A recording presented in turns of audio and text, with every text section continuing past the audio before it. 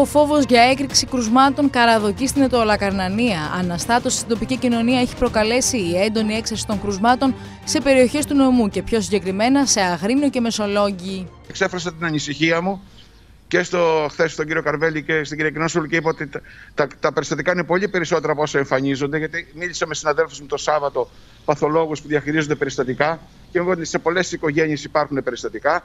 Είπα, είπα επίσης, ε, έκανα και μια πρόταση χθες στην κυρία Κοινόσογλου να γίνει μια γονιδιωματική ανάλυση των κρουσμάτων αυτών. Μήπως έχουμε κάποια μετάλλαξη εμείς εδώ; Κλειστά έως την Τετάρτη, 12 Μαου, θα παραμείνουν όλα τα σχολεία πρωτοβάθμιας και δευτεροβάθμιας εκπαίδευσης, καθώς και τα ειδικά σχολεία του Δήμου Μεσολογίου, με απόφαση του Δημάρχου Κώστα Λύρου, λόγω των αυξημένων κρουσμάτων κορονοϊού. Το θεωρώ προς τη σωστή κατεύθυνση. Το σχολείο τουλάχιστον για δύο-τρεις μέρες στο Μεσολόγιο μέχρι να καταλάξει να, να γίνουν πολλά rapid test πολλά μοριακά να δούμε πού βρίσκεται. Δεν, δεν χάλασε ο κόσμος για τρεις μέρες να μένουν κλειστά στα σχολεία. Εξαιτίας της κατάστασης που επικρατεί και με τον φόβο να καραδοκεί, η ιερά μονή Αγίων Αυγουστίνου, η Πόνος και Σεραφείμ του Σάροφ στο τρίκορφο Δωρίδος, με ανακοίνωση σε μέσο κοινωνικής δικτύωσης του Γέροντα Νεκτάριου, θα παραμείνει κλειστή μέχρι νεοτέρας λόγω αυξημένων κρουσμάτων στην ευρύτερη περιοχή.